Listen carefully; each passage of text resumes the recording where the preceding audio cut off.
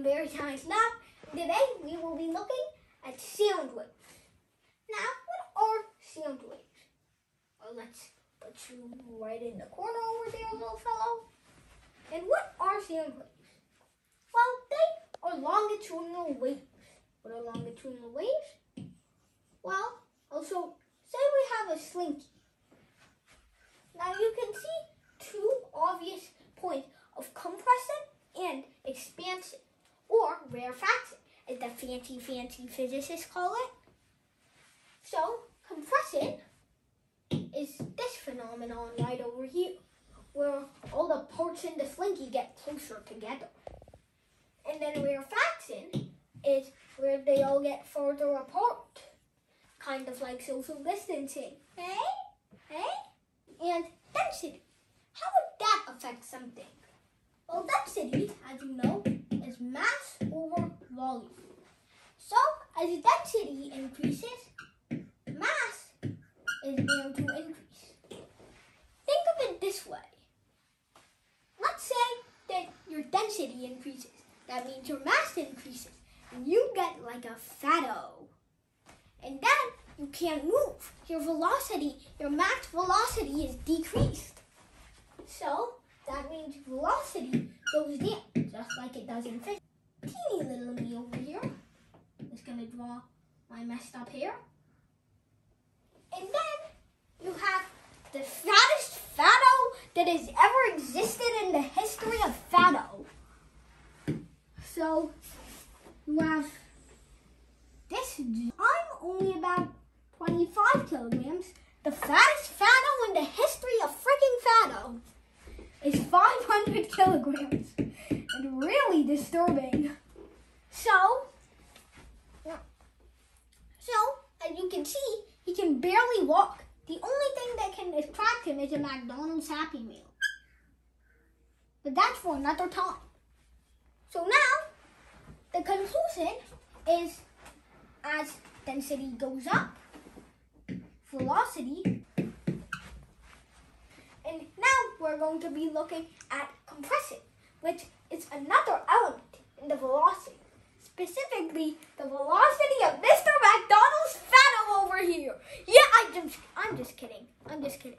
It's sadly the velocity of our family, not the velocity of Mr. Fatto over here. All right. So, this second element is compression. Now, what is compression? Well, it's not me doing this. Well, that is me compressing my body, but This man, this fatto definitely can compress his body, but it's actually about, like, really, the particles and the order of the particles. So, let's say you have deadly nitrogen gas in your living room. Um, who has that in their living room? I don't know, some. So compression is near zero.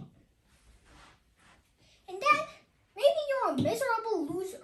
And while spinning around in your office here, you just knocked down your entire damn cup of coffee. Ah, what a mistake. Well, now you've got to still somewhat low. But now, what we see is the salt. So you broke in your damn coffee cup. How dare you? And you see, not only are they in a grid-like formation, and there's a lot of them, but they're also in order. So B is high to the damn sky. It's a gas, of course, deadly, deadly nitrogen gas. And then this is a miserable liquid coffee spill kind of a de-escalation really. And then this is your miserable broken damn coffee cup. Otherwise known as a salt. Alright. And so these have different levels of compression. But compressing is represented by B.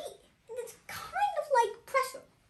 Because it's force over area. And now let's just look at density units.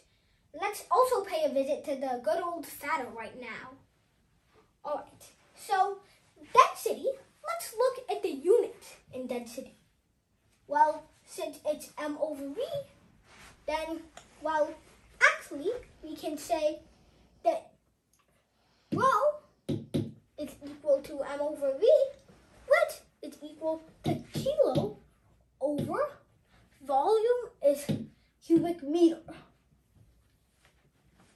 Alright, and compression is force over area, which is newtons over square meters, which is kilogram meter over second square, or this uh, abomination.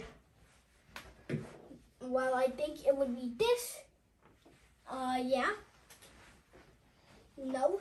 Um, it would actually be meter over second squared, and then you have this canceling out, giving you kilogram over second squared meter. Jesus Christ, this is an abomination.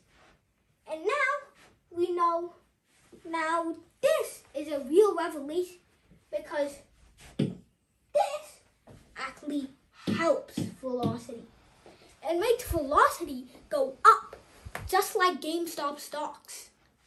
It makes velocity go way up. And so,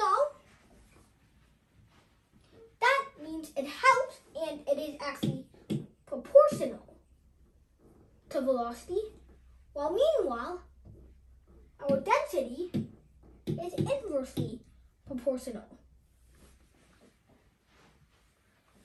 So, now, let's see what we can do.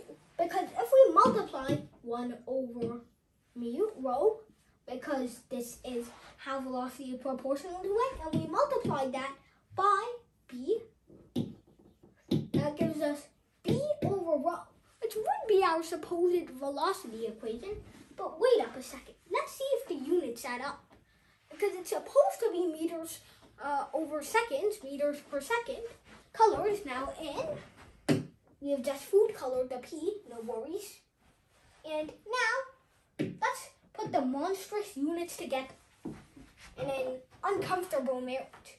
So that would be kilogram over second square meter.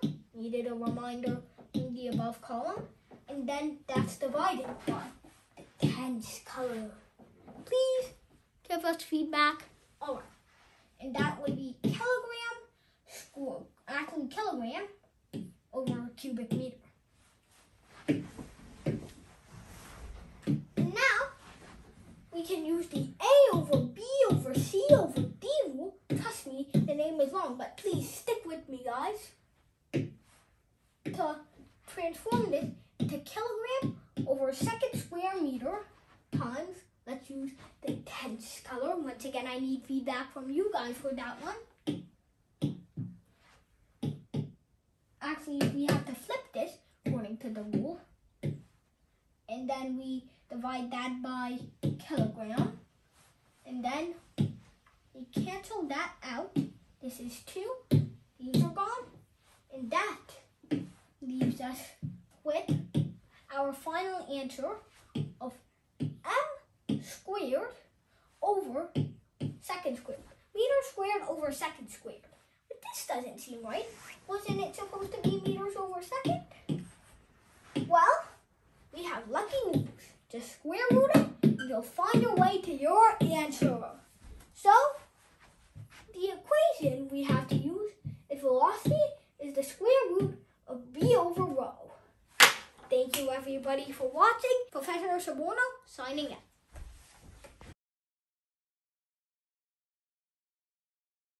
Sorry folks, we're gonna copy and paste. Oh, let's just steal it.